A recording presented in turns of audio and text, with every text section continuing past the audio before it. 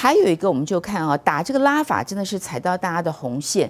那但是忌惮于美国还有以色列的这个呃这个。霸权呐，所以这些国家很有趣哦，大家都是集体公布。怎么说呢？哈，第一个你看到加勒比海的国家，等于是美国的后院嘛啊，可以说是十五国集体起义要援助巴勒斯坦，声援巴勒斯坦啊，大家共同来宣布。另外啊，还有什么？还有这个爱尔兰媒体也报道，欧盟也开始了，好多成员国，包括爱尔兰、西班牙、马耳他，还有这个斯洛文尼亚等等，五月二十一号。共同承认巴勒斯坦啊，然后这个呃加勒比海就是哈马，这个巴哈马也是嘛，之前就声明支持巴勒斯坦建国啊，然后这个加勒比海共同体都已经达成了共识，有没有发现？欧盟也好啊，加勒比海也好啊，都过去都是这个亲美的。那现在大家不敢一个一个跳出来，集体的力量。好，李将军怎么看？先从这个战事开始说起。我特别讲啊，这次来讲的话，这场仗非打不可的了，已经避免不了了，因为开罗的和谈已经结束了，对不对？各自都已经回去了，不管是哈马斯啊或以色列，他们和谈人员都已经回去了，就是说已经不谈了。那我觉得以色列来讲，这是等于说有一点这个欺骗。整个世界的所有人，因为在和谈的过程之中，后来哈马斯，我特别要强调，说哈马斯后来有答应你以色列所开的和谈条件，我都答应了，那我也答应你和谈了，对不对？我知道我打不过你，那我为了我的老百姓，巴勒斯坦老百姓，我们就和谈，然后最起码我让我们这些这个我们巴勒斯坦人民来讲，有一条活路可以走。我已经答应你的条件了，结果没想到以色列翻脸，说你答应了，我还是照打，那我就是不答应，我我还是照打，那你答应了也没有效，我。然后我就这样谈什么谈判就破裂了。破裂以后，结果这个以色列来讲的话，就开始进攻拉法地区。他从东边打进去，从东边打进去。我们要知道，现在来讲，在战场上来讲，拉法这个地方，哈马斯他从北边一直撤，一直撤。他也不是我跟我跟各位讲，打仗没有那么容易。你放一百，我们有时候经常以前在军中，我们经常讲一句话，我说放一百只山猪在山里面，你去打打看，你不见得都能够打得到。他搞不好那个猎人，你看打山猪他都很害怕。那山猪那个獠牙也是攻击性也是，当他被逼急的时候，他就反抗，那个那个反抗力道，他虽然说自己阵亡了、死亡了，会被你咬死、被猎狗咬死，可是他咬死之前，他也会伤了很多猎狗。所以说，这次哈马斯来讲，他从北边一直往撤，往南撤，撤到哈马。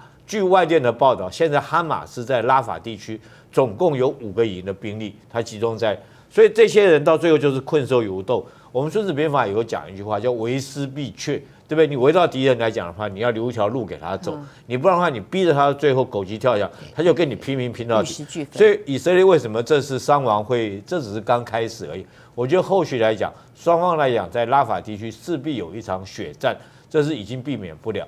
然后美国来讲的话，他也感受到全世界给他的压力。不管前一阵子我们讲说，美国呃大学生已经开始在强烈的抗议嘛，或者是全世界，包括现在来讲，这个这个中中南美洲，对不对？或者是说欧盟那边来讲，因为这个。毕竟人道是普世的价值了，你对这些无辜的老百姓用这种妇孺小孩这种残杀手段，实在让人看不过去。所以美国来讲，在拜登也不得已说是要对以色列停止他的军呃武器的供应。他停止武器，我看到吓一跳，你知道？这如果这些武器供应信誉不得了啊！他总共给了给了他停止供应是一千八百枚两两千两千吨的炸药。哎，两千吨的那制导炸弹，两千吨是九百多公斤的。但他停运，你信吗？哎，目前来讲，我我相信拜登大概不敢不敢运了，因为你看看，不止这个哦，这光这种两千磅的炸弹就一千八百枚，另外还有五百吨的炸弹，五五百磅的炸弹就是将近一千呃，这个这个。呃，两百多公斤。光从这个炸弹威力来看，它就是一个种族灭绝，就是种族灭。那他目的是要钻地，你知道？他认为哈马斯躲在地道，所以他一定要用这么重的炸弹去炸。可是问题是说，这种那么威力那么大的炸弹，你需要去炸那个地道，你非要用这种炸弹。可是你用这种炸弹一炸下去以后，你想想看，对于一个这个小小那么只剩下几平方公里的土地里面挤了一百多万人，这一千多颗这种那么威力那么大的炸弹下去。你等于说就是屠杀，那不是种族那就是屠杀。所以我觉得现在来讲的话，这个拜登也面临两难。现在全全世界来讲，平常讲，你不管是欧盟国家，或者是巴勒比海、中南美洲这些国家，都已经看不看不下去了。你不管以色列或美国，因为人道精神哈，这残害一些无辜的老百姓，实在是人类的一个普对。最后一点点时间，我问一下介大使哦。所以介大使，我觉得还蛮不寻常的。你看到加勒比海这些国家，还有欧盟这些国家啊，大家都是集体，有没有嗯啊？集体出来，你觉得这是一个什么样的概念？就是看不下去了。对对啊，那个这个时候用这个方式来声援巴勒斯坦巴。哈马是单独跳出来了啊，但其他国家就是用集体的力量。集体的力量，而且你看欧盟这些国家，这些西班牙、马耳他、爱尔兰啊，这些都是他们有他们长期的政策的。我嗯想这个实在是看不下去了，因为因为以色列已经很清楚了嘛，宁可错杀一百，不愿放过一人嘛。对他现在目标是要杀光这个哈马斯啊，因为对以色列来讲，他等不到下次更好的机会，能够这样下这样子的重手所以呢，对以色列来讲的话，他是必打；那美国来讲的话，就是拜登左右为难。然后呢，现在先扣一下啊，那过两天就送过去了啊。对所以呢，这个根本美国是在演这出戏啦，这个谁都看得出来。那巴勒斯坦人民现在就怎么讲呢？这么小一块地方，用这么多一下两千磅、一下五百磅的炸弹往里一个一个丢，你说几千发哎，你你说你说死的波不是不是不是大部分都是老百姓跟因为妇女跟儿童吗？但这些哈、这些地区人民的鲜血，是不是把美国往这个世界跟大家越推越远？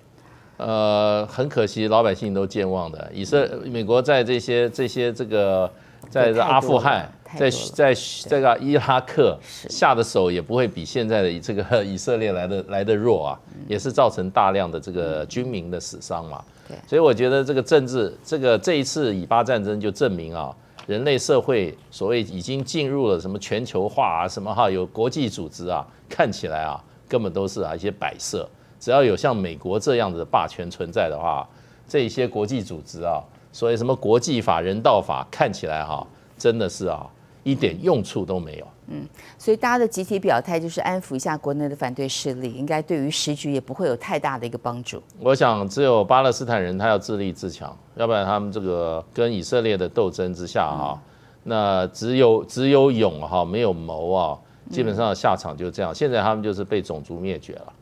太阳星全效克菲尔益生菌，我吃了两三天，最明显的感觉是睡眠品质竟然变好了。睡得好，让我整个人工作更专注，心情也变得更稳定更好。因为太阳星全效克菲尔益生菌，才让我认识到克菲尔益生菌，它是由多支菌种的益生菌所组合而成，不仅能够维护消化道机能正常运作，还拥有多种有益健康的保健功能，相当强大。你知道吗？有台大教授专门研究它，称它是神仙的礼物。上千篇的国际研究证实，克菲尔益生菌不仅帮助肠道健康，肠道菌透过肠脑轴影响全身器官，所以维持肠道菌丛的平衡是解锁身体健康、精神健康的钥匙。对帮助睡眠、维持好情绪真的很有感，也因为这不是药，有季节敏感、代谢困扰、关心恶性细胞风险的好朋友，选择太阳星全效特菲尔益生菌，做好日常的保养，身体健康没负担。